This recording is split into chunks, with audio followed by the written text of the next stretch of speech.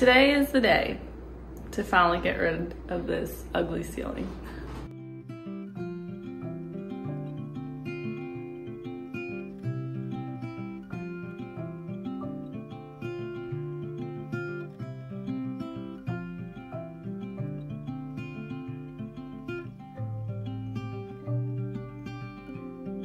We got the nickel gap boards delivered from the Home Depot.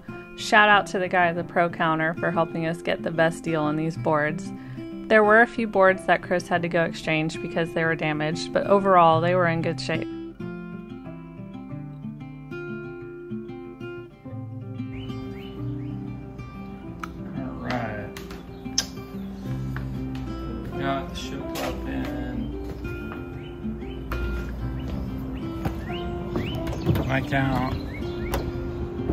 We have about 13 pieces of dead loss. Deadliest Catch fans will know what I'm talking about.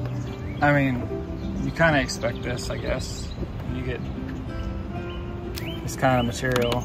It's just pine. It's really thin. It's gonna snap. After getting those boards replaced and giving them time to acclimate to the house, it was time to get started by marking the joists with a chalk line.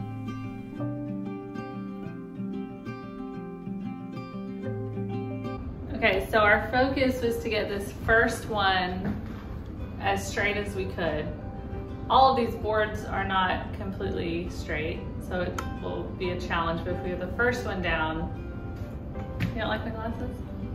If we have the first one down, then it should go a little bit more smooth throughout the process. So we're using the laser level, um, not as a level, but just straight line to get that going.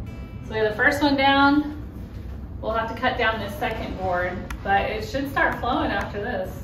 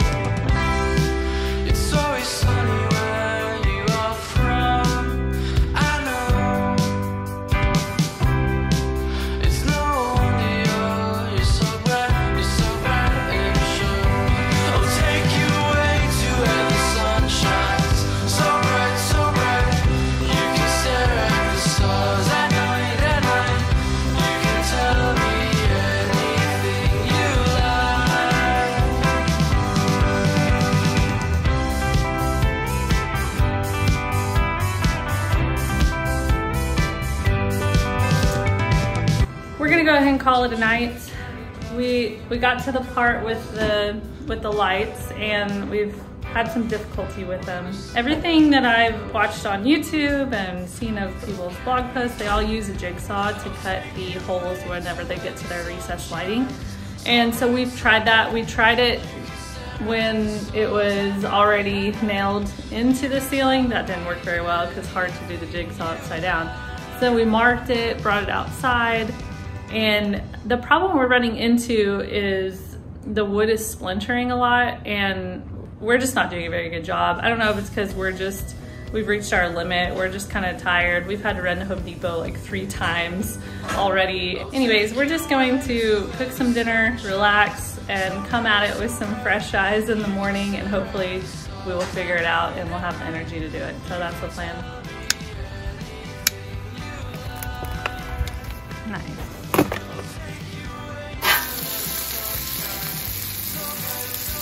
Little fresh rosemary from the garden. Not quite a garden, but from our rosemary plant. Oh yeah.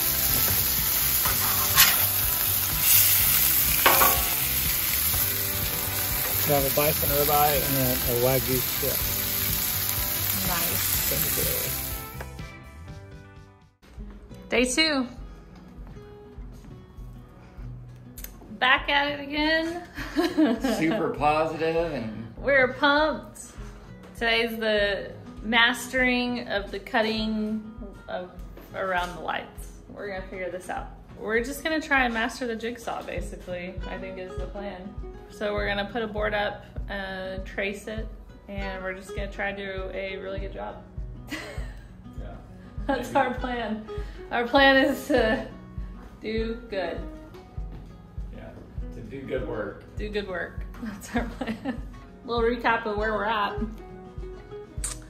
We've done eight planks. Well, eight rows, I should say. It's definitely more than eight planks.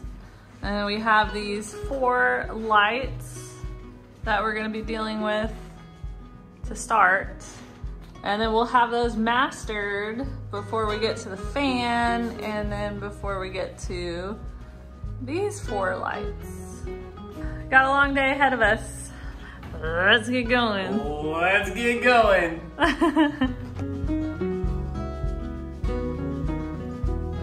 All right, first one done. Turns out we just had the wrong blade for the, the jigsaw. The wrong blade, but also I think the blade was a little dull. So we got some fresh blades and it cut like a charm. So it has on there the little hole, shows that you're cutting a hole. Anyways, it worked well. It didn't splinter the wood like it was yesterday. So as long as we get the tracing done fine, then it'll turn out fine.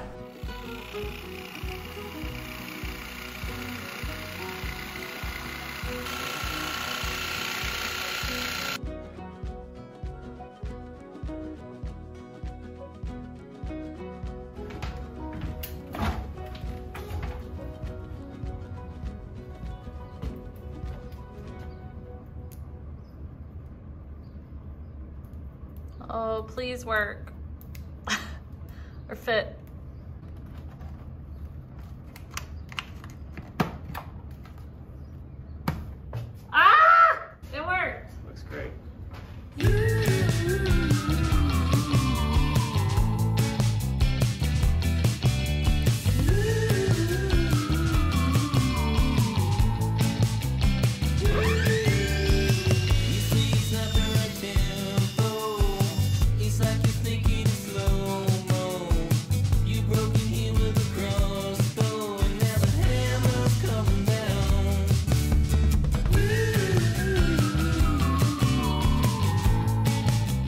You can see if we don't push in the boards as we're going, like that, if we were to just lay them flat, we would have this huge gap because these boards are not very straight. So as we're going, we're having to push them in as we nail. Makes it a little more challenging.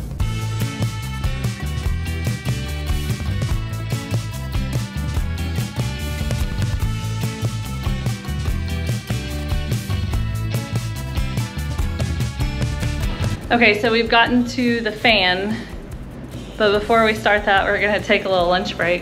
We're probably gonna have to take the fan down because I think instead of instead of cutting to just be flush with the fan, we're gonna pull the fan down to where when we put it back up, it's kind of overlapping the shiplap boards, if that makes sense.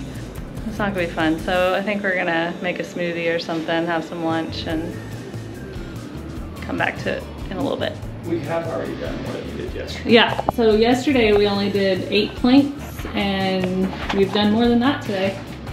Um, it's looking so good. I just, let me know what you guys think. I mean, obviously we have a lot of work ahead of us still. Once we get these, once we get these planks in, then we have to go back in and try and cover up all the nail holes with some caulking and then uh, clean up these boards. There's a lot of marks and stuff on it, so we're not sure if white paint is gonna necessarily cover it all the way, so we may end up having to do a quick primer on these, even though they are primed, but there's so many like black marks and they're not smudging off, so we will see. But uh, yeah, so caulking, painting, I think it's gonna look really good uh, once we get the curtains up and it's coming along.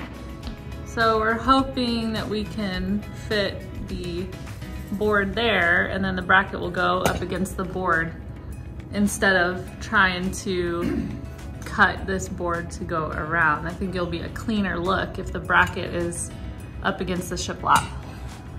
Agreed? Agreed. We may just need uh, longer screws.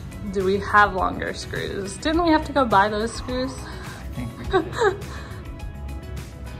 or oh. Oh, oh. Are you okay? You're okay. We'll take you to Home Depot with us. Noah, Noah is so freaked out that, well, he's able to relax now, but he, he's always done this thing where when he's really scared about something, he would a lot of times hop into the shower and stand there and it was really sad and like be shaking. Or I'd find him in the closet and he'd be like buried under our clothes or something like that. Well, he's found a new safe space, which is up in the attic. There's a closet at the end. So Chris put um, one of their beds up there and he's just sleeping on that. So he's in his little safe space now from all the noise. But anyways, I think uh, we're gonna have to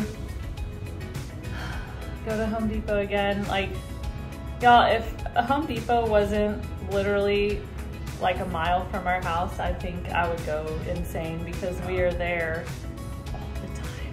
They have to think we're like secret shoppers or something like that. Yeah, like I, I think it's their security is probably alerted every time we walk in because we're there so often.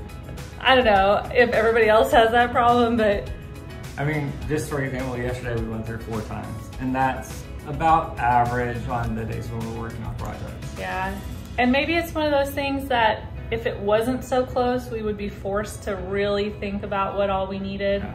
and therefore we would make less Make trips. some lists and. I don't know. Yeah. Anyways, all right, off to Home Depot. Yeah. Look at this princess parking. We should just put our name there. Okay.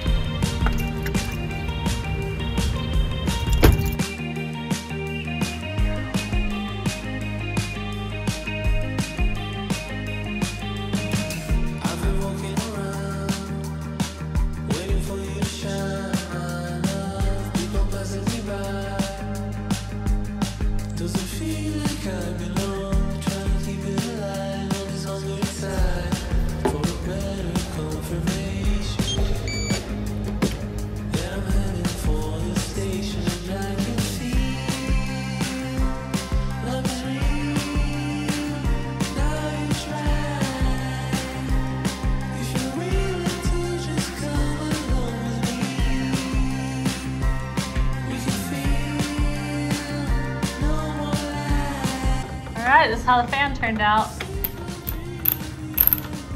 Looks good.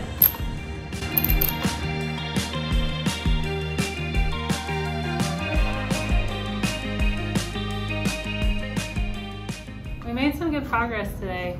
Uh, we got past the fan. So we had the lights challenge to start and then the fan challenge, which really ended up not being too bad, except for it threw off the balancing of the fans. We had to add some shims and stuff to make it work. But I think we're gonna end it here. Yeah. We have a lot of work still ahead of us, obviously.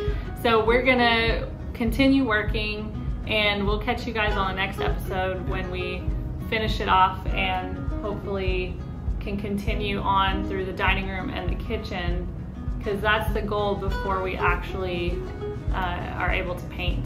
All right, so we'll see you guys next time. Make sure to like and subscribe.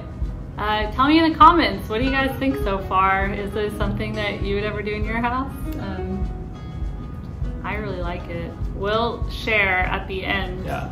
some tips that we learned along the way, Yeah.